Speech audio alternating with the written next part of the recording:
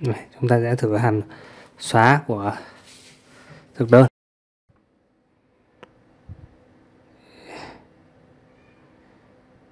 Chúng ta thêm một uh, mã thực đơn 5 đây chúng ta chỉ cần cần chuyển mã vào thôi. Đây EQ chúng ta cùng xem lại. Đã xóa đi một bản ghi rồi.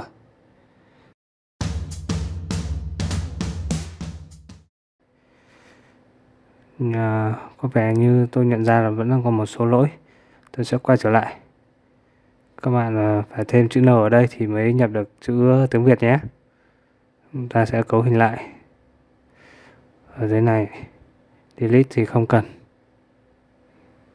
Không cần chữ N hoa để biết giờ các bạn nhớ cách uh, các chuỗi ra. Đây tôi cũng sẽ thêm n ở chỗ lát món ăn. Như vậy là với của chúng ta đã lên xanh đỏ tím vàng. Tôi sẽ chỉnh sửa lại một số chỗ nữa. Chúng ta sẽ reload lại. Là chúng ta sẽ test các ờ, uh, hàm của chúng ta. Đầu tiên là hàm get thực đơn. Xq hàm get uh, ờ, thực đơn đã trả về ok cho chúng ta. Chúng ta sẽ lát thử API thực đơn. Đã lát thành công rồi. Tiếp đến là à, hàm put à, hàm bot hàm thêm mới. Chúng ta sẽ không cần mã thực đơn mình chỉ cần tên thực đơn là đồ uống EQ đã theo có một đồ uống. Tiếp đến là hàm put chúng ta sẽ truyền mã thực đơn là 3 và tên thực đơn là món tráng miệng. Rồi sử dụng XQ đã cập nhật thành công, chúng ta sẽ duy lát lại. Đã đổi thành món tráng miệng rồi. Tiếp đến là hàm xóa. Tôi sẽ xóa. Truyền vào mã mã 4 XQ đã có lỗi xảy ra rồi. Phải truyền tên thực đơn vào chúng ta sẽ truyền tên thực đơn. Như vậy là đã xóa thành công. Thì nữa tôi sẽ tìm cách xóa mà không cần truyền à, tên thực đơn vào. Chúng ta chỉ cần mã thôi. Chúng ta sẽ test hàm à, get món ăn API món ăn. Đã thành công. Tiếp đến là hàm post. Chúng ta sẽ nhập tên món ăn là vịt quay Bắc Kinh. Thực đơn là món chính, ngày tạo 2022 trừ 01 trừ 23 món ăn, tên ảnh là CPG thành công rồi, đến hàm bút.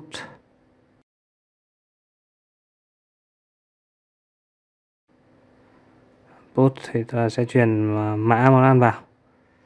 Mọi thứ đều là string hết, còn ngày thì phải đúng định dạng thì mới à, put vào được. Chúng ta sẽ cùng xq cập nhật thành công. Các bạn có thể đã thay đổi rồi. Tiếp đến là hàm xóa. Chúng ta sẽ dùng hàm xóa. Sau này chúng ta phải truyền các biến dưới thì mới à, xq được. Xóa thành công rồi. Chúng ta sẽ cùng sửa đổi một chút sẽ truyền in mã vào. Ở đây, chúng ta cũng sửa được một chút. Rồi, chúng ta sẽ sửa trở lại.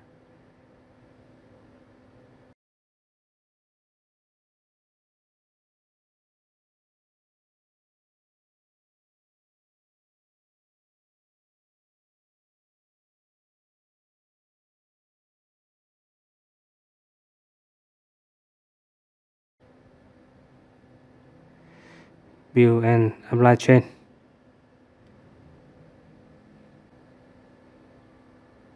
Rồi, chúng ta sẽ thử hàm xóa của thực đơn.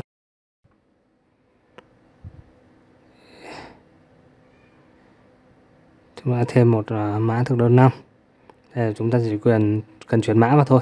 Đây EQ chúng ta cùng xem lại. Đã xóa đi một bản ghi rồi chúng ta sẽ làm tương tự với ờ, món ăn controller.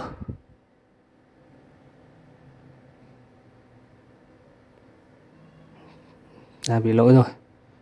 Xin lỗi các bạn, chữ in về viết thường. Chúng ta sẽ cùng build lại project của chúng ta. Rồi, chúng ta sẽ cùng test món ăn. Đầu tiên tôi sẽ lát lại. Chỉ có một bản ghi. Tôi sẽ thêm mới một bản ghi nữa. Xq đã đã bị lỗi, có lỗi xảy ra rồi. Ngày tạo chúng ta phải truyền đúng định dạng. Q đã thêm mới thành công.